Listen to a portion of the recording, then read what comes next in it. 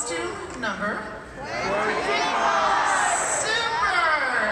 Costume number 25. This Comic Con saw the introduction of Jodie Whittaker as the newest incarnation of Doctor Who.